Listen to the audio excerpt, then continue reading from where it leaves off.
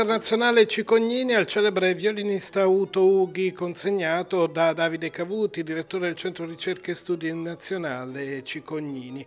Il riconoscimento consegnato al termine del concerto tenutosi al Teatro Sirena di Francavilla al Mare, città in cui visse Cicognini.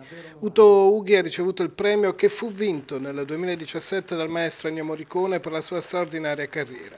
Il maestro Ughi ha ricordato il gesto estremo del compositore Cicognini, il preferito di Vittorio De Sica, di gettare tutti i suoi spartiti nel fiume Aniene, lodando le sue opere per il cinema, vere e proprie perle compositive che hanno segnato un'epoca e proiettato il cinema italiano a livello internazionale. Una serata unica con le note di uno dei più grandi musicisti del mondo che hanno riecheggiato alla Palazzo Sirena di Francavilla.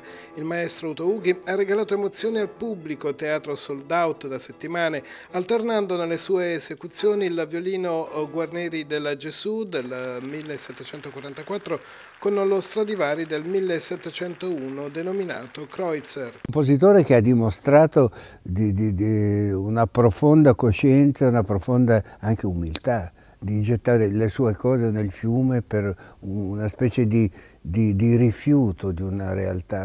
Era un compositore classico che si ispirava a Puccini e, questo, e no, non poteva eh, accettare che la musica fosse subordinata al, cinema.